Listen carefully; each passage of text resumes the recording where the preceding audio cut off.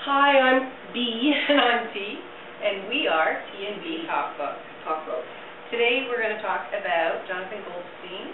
Ladies and gentlemen, the, Bible. I'm sorry, I just love this title so much, and I actually love Jonathan Goldstein a lot. yeah. A lot. Like, sorry, a little bit of a crush going on here.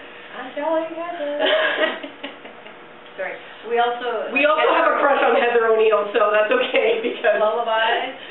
So Lullabies for Little Little Criminals. Heather O'Neill's last book was lovely book. beautiful. But Yeah. we're here to talk about Jonathan. And um, one thing I have to say about Jonathan is that the About only the reason I know or about Jonathan? well about both because Oh, okay. I discovered Jonathan Goldstein on Wiretap on CBC and um, was very much smitten from the very beginning because there's really nothing like that on CBC. No. So it's quite refreshing and it's very nostalgic for me because it just totally just reminds me of Montreal right away. Aw, yeah, no, it totally is like, oh, you know, it's so, so awesome. And even though he doesn't really talk about Montreal per No. se, but it's just, I guess that sensibility is. I'm going to disappear on the camera for a second and grab my notes Notes. to put here. I don't have notes. I'm just gonna go off gush about Jonathan. Um, and also, so the first time I heard one of these stories was on Wiretap. Um, it was See, the for me, it was This American Life. Which is the same thing. Treena's yeah. This American Life girl. I'm a CBC girl. So it's just I'm kind of we. Complement each both. other that way. Okay, you can be both. Thank you. Um, so, and I heard David and Goliath. I think that was the first story I heard. And um, That was our laughed and laughed and laughed. Oh, Because, I mean, Jonathan Goldstein's delivery is He's very deadpan. I like that. amazing Yeah. me. Yeah. Um, so it's a little bit harder to read the book, although I can imagine his voice telling me the story, so that works out well for me. Yeah. I like Samson, and Samson and Delilah. I thought it was really nice, even in the Adam and Eve sort of Garden Yes. of Eden thing. Yes. It's so nice to hear Bible stories. It is, I know, The weird. women aren't like the bad guys. No, and they're that actually was lovely. super smart. exactly. and way smarter than men, and like, and just kind of like more common sense and just nicer, you know? and that's not religion. Although- I don't come away from the stories hating myself. That's right. That's weird. How'd that happen? The thing I liked about it is it felt like home when I was reading it. For me, for different reasons. You because it reminds me of Montreal. Mhm. For me, it was because I could picture, you know, Sunday night on my grandparents' farm, all the aunts and uncles and my grandparents, everybody talking about politics and the Bible and Bible stories and all that. it just made me nostalgic for like CBC and Yeah, the good old days. you know, Yeah. watch Hockey Night in Canada and Disney, the wonderful world of Disney. Oh. Because all we had was CBC. And even then it was an antenna, so it was CBC like. Don't get me started. we didn't even have a TV, a color TV, until I was like 13, I think. Really? Oh my God. It was pretty bad.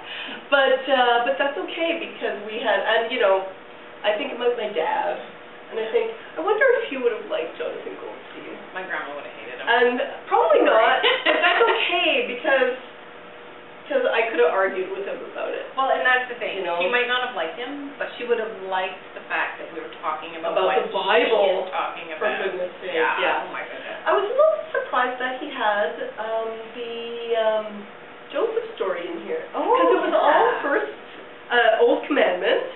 Uh, Old Commandment. There I go again. Old Testament. Old Testament Except for. until my troubles, Yeah. which is a work in pro- pro- progress by Joseph of N.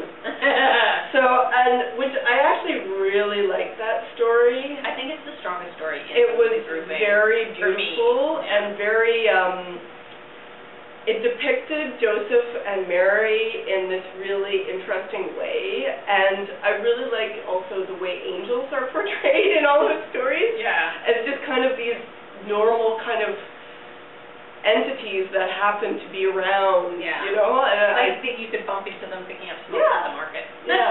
It's just- well, maybe they wouldn't be picking up smoke, but. but you know, whatever, they could have been in this novel, you know? maybe a package of stubbies. Um, so yeah, I liked Noah in here.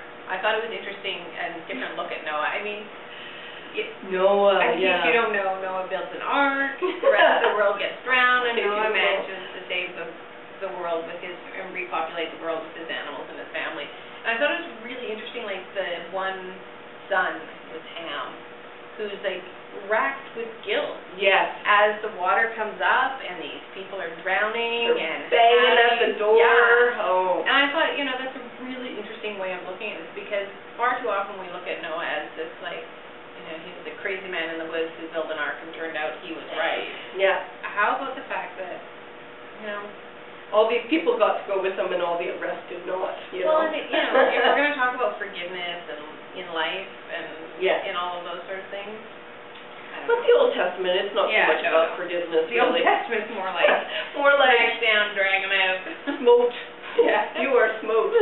Um, so yeah, I mean, I guess the thing about Jonathan Goldstein and about this book and about Wiretap and This American Life is is uh, it's about storytelling and it's about uh, and it's good storytelling. yeah, it's about hearing stories and telling stories Yeah. and and that's why it's nostalgic for you and your Yeah. about your family and and why I think about Montreal because that's an old story for me.